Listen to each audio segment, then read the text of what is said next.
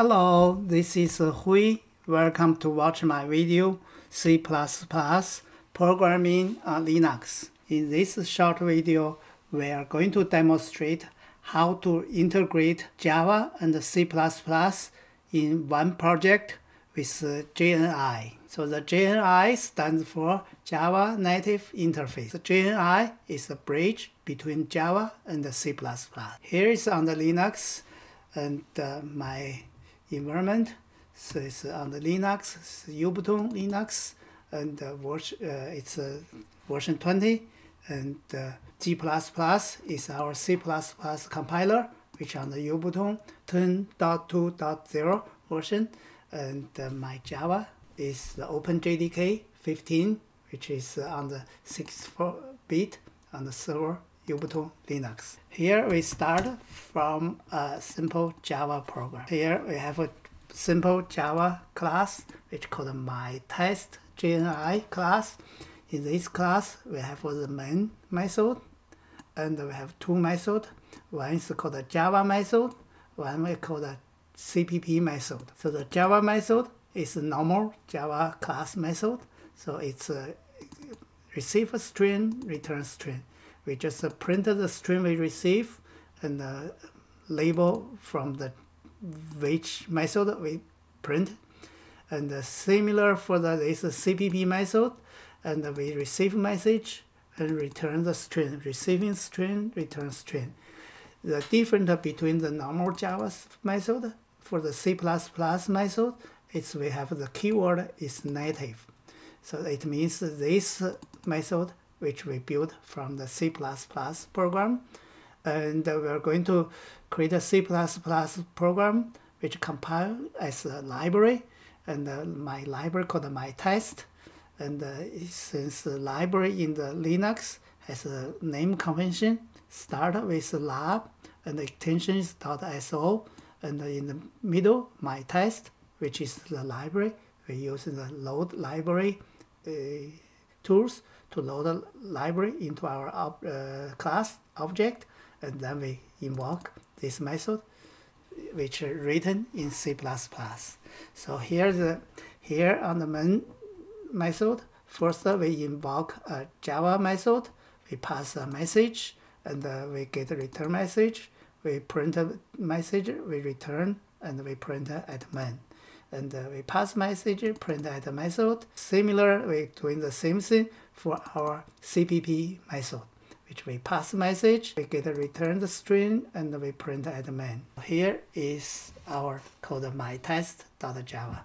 So because we have a JNI link with CPP, so we have, after we got a Java program, and we have to build our link, which is the header file. So Java C compile we are going to use the minor h uh, dot, which is the current directory. Minor h means uh, we also build the header for the C++. So, so let's see. You can see we build the header file, and we also build a C a class file, which is a Java class file. So this is the header file. We are built automatically through Java's compiler, Java C minor h, and uh, and it's important we have to include its jni.h, which is the header for the Java native interface. And uh, this is the function which is we, the method, which is a CPP method from the Java class my test.jni. So we should never touch this header file. We just uh, build this in our C++ program. So let's uh, go to our CPP program. And as normal CPP program, we has include header file. We have to include jni.h. And this is we copy from header file. This is exactly how we, and this function called Java method my test JNI underscore CPP method. We never touch this and it's automatically gen generate generated. So we have three parameter, and uh, first is uh, JNIEnv, it's the environment variable uh, object, and also the J object, and we go called the JOBJ, and uh, we have a string which we know it's the message we call the JMSG. So this is our program. We just our method. We start from uh, scratch. We just pass these two variable is standard is the link between the Java and the C++. This is the method in the string because we defined this method which is the path string and we're going to use a JString, J object and the JNI env that's standard eh, defined in this eh, header files. So because our program return the JString, so we have to create a standard string called RTN. We just give the message hard-coded and the return message from this CPP method. And when the, because the JString is not a string, we have to use env object and with new string UTF and UTF is uh, and is so we're going to use rtn dot c str.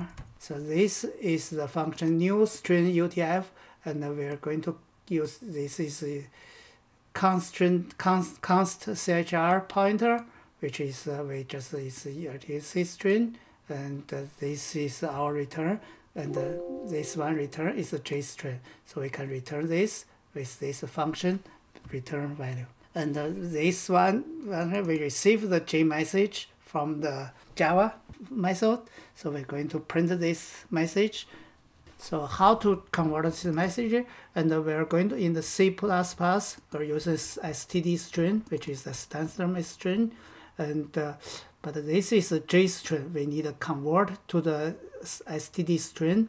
So we go into use env get. So this is the method. We use the get string UTF chars. And this is the first parameter is the JString, which is our J message. And the second method is the boolean, tell it's a copy or not. And uh, because uh, this is the pointer, and so we don't want to make copy, we just uh, say not copy if this we in j boolean true and then we going to copy this case we're just not copy and uh, this is a pointer of constant chars so we convert it using string between the normal standard C++ string and we just print this and we print the label which where we print we print from the CPP method. And we generate a standard string, convert it to the J string, and then we return back to this. So this is our C++ program, and this is the interface header file, which we automatically generated from the Java. And now we finish our simple C++ program. So in order to compiling our CPP program, we need a edit our make file.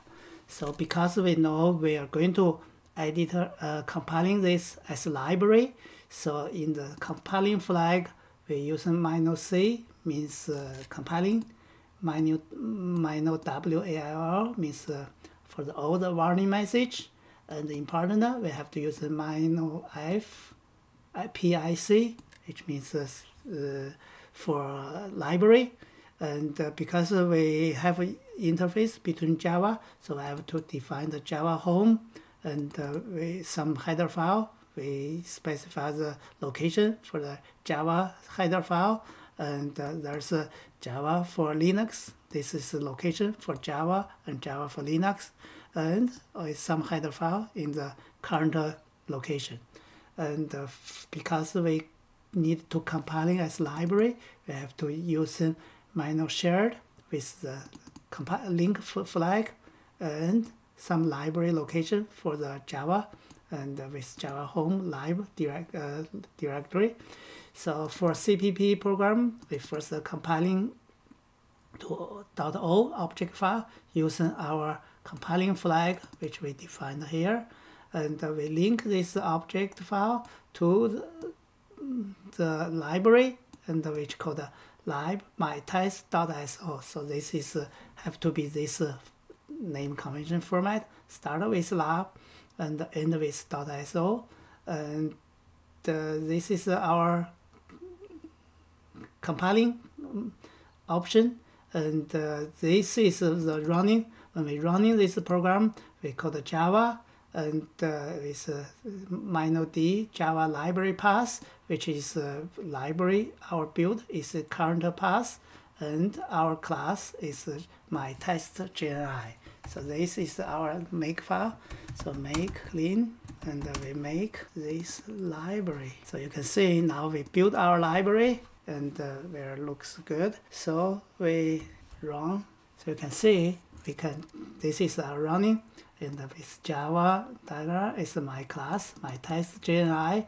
So we first start our JNI class and uh, we invoke this Java method which we pass message from the main for Java method and this was printed in the from the Java method and uh, this return message from Java method and uh, it's printed at Java class dot main and this is uh, we invoke our CPP method which are written in our C++ program and the message from my main for the CPP method. And this is our return message from the, our CPP method, which is printed at our Java main. So here is typical. So in case if we need to modify something in our C++, as long as we don't change the interface, so we just um, vi our CPP file. So we add one line and our CPP program. We just add one line, print this message second times. So let's uh, save this, make clean, make our library again. We didn't touch any Java, so we can make run. You can see we modify the, our C++ program and we don't need touch Java class program is uh, still you know working as long as we don't have any modification of the interface.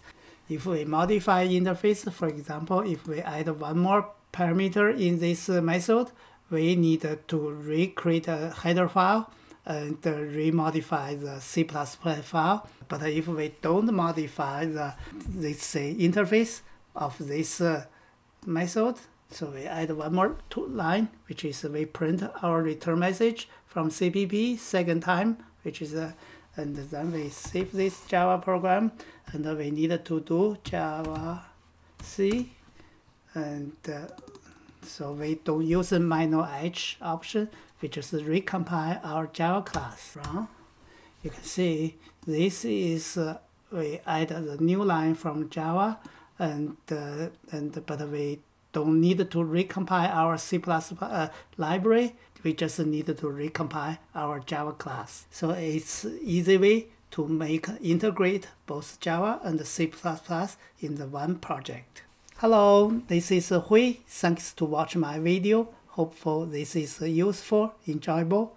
It's going to be great to have your feedback.